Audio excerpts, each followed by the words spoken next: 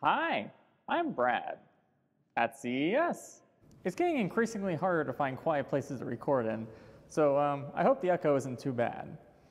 My first couple of videos at CES were more targeted toward the mass market consumer or possible mass market consumer prototype sort of thing, and we're gonna get into the more higher end stuff.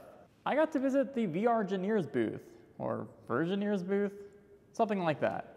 And they had two very high-end PCVR focused headsets, the XTAL 3 and bits and pieces of the Somnium VR1.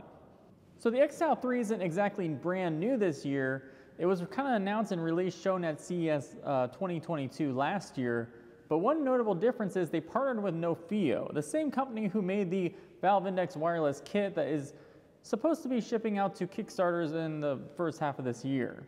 It seems that VR engineers saw how well uh, Nofio was received and they partnered together to make a first edition prototype, that is the key word, prototype, it's very uh, rushed together, to get a super high-end XTAL 3 headset working completely wirelessly on Wi-Fi 6E.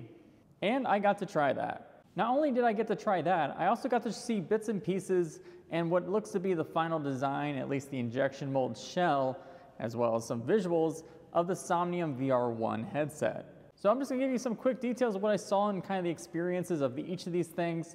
But first I wanna kind of plug my Patreon, bradsmells.com slash Patreon.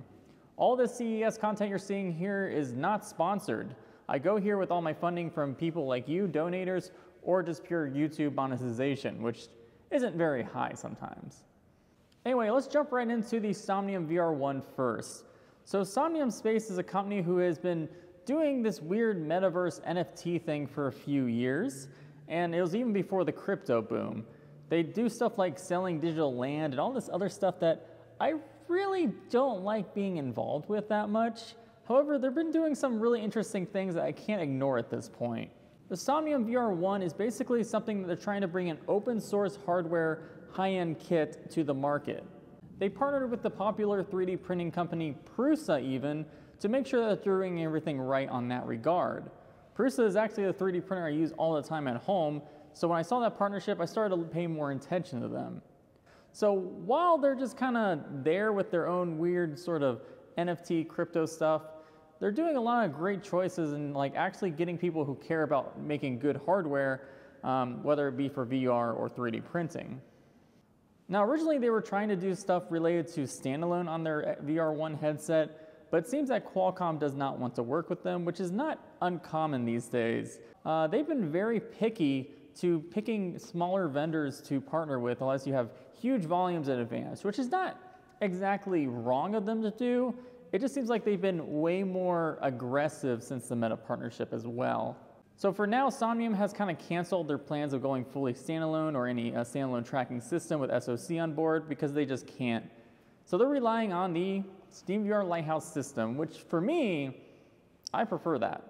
The design is really unique, and that's kind of the one thing I kept saying to them is like when you try out and see so many different VR headsets with all kind of a similar type reference design, they all look the same. It was really refreshing to see their mixed reality VR headset actually look like something I've not seen before, except from the movie Wall-E. And while they didn't have a fully working headset that I can try on, they had all the components there. They explained all the different pieces and what they'll do, how each piece will be uh, open source or, or be able to be 3D printed. Not every piece, because Lighthouse is kind of a problem. You have to be very careful on what things you can choose to print and what you can't because of that tracking system. But overall, I was really impressed and happy to see all the different partnerships they've made. And of course, the one big thing that they did have to show off was not only they had the uh, displays that you can see the lens that they're using, which is also made by VRgineers. But they also have the cameras that they want to do the mixed reality pass-through. And the cameras are like 4K each. There's two cameras, one per eye, to do a binocular vision.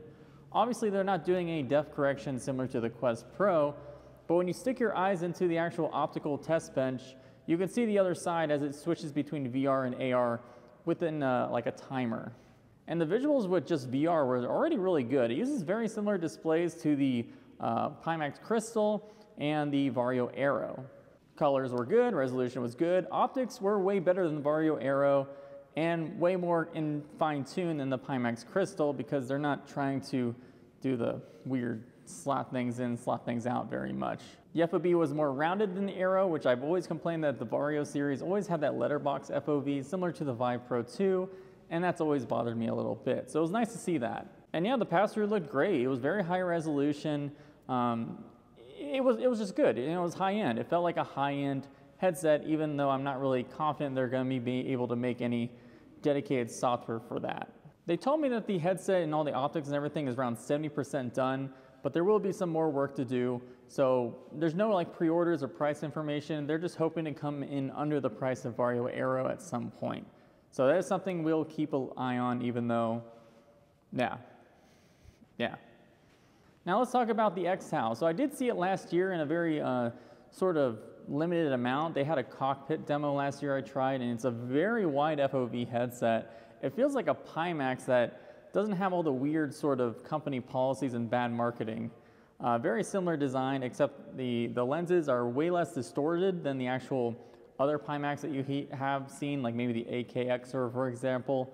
It's a very high resolution, very high-end headset that is mostly targeted to military and pilot training and all those sorts of things. And the one thing I said in my NoFio sort of uh, tryout, which was a few months ago, was that the NoFio system worked fantastically well for the Valve Index. The one thing I wondered when I was doing the demo, and I even said in that video, was I wondered how NoFio's system would do if it scaled up the resolutions and frame rate. And well, I would say that the XTAL 3 is pretty much a good example of how well this system does. Now, it's also important to note that this was in a crowded uh, conference hall with many different Wi-Fi networks.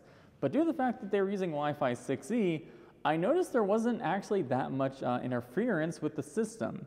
Now, obviously, it was not a perfect demo. This was a first brand new prototype that they kind of built together with the VRgineers and NoFio partnership to the point where it wasn't even anything that would strap to the headset. It was this giant box that you would strap around your belt it was super heavy, super weird, had also a, whole other power system on the belt as well. And obviously the headset was super heavy just due to the fact of its design. But I was impressed. The, the visuals looked pretty good, even though it was stuttery at some moments because it's just uh, clearly early prototype design. I cannot complain that much, and it makes me very confident that NoFio's system is capable of scaling up a bit, even though they're running the demo at like the 70 hertz, which is, again, pretty standard for the XTAL 3 anyway. The one thing I really hope to see that NoFio does in terms of, uh, we're seeing a lot of Wi-Fi 7 happen at this conference. A lot of routers are trying to be uh, shown off to ready for the consumer market later this year. And the one thing I believe NoFio said to me during my last demo was they do plan to scale up to Wi-Fi 7 at some point with their custom chips and codecs and everything. And I think when NoFio does that, I hope they get more partnerships because they've just been doing so well. They have just beautiful quality for wireless PC VR. They're the only ones I kind of trust at this point of doing it right at this, uh, at this moment, unless I see some WiGig too, but I don't think anyone's going that path. Anyway, that's everything I tried at the uh, VRgineers booth, which was also partnered with Somnium Space, and what I believe was also sponsored by the Czech Republican government. Uh, it was a very cool demo, and I'm very thankful I got to try out all these things with all the nice people that just, you know, are happy to see me. I'm happy to see them too. Bye.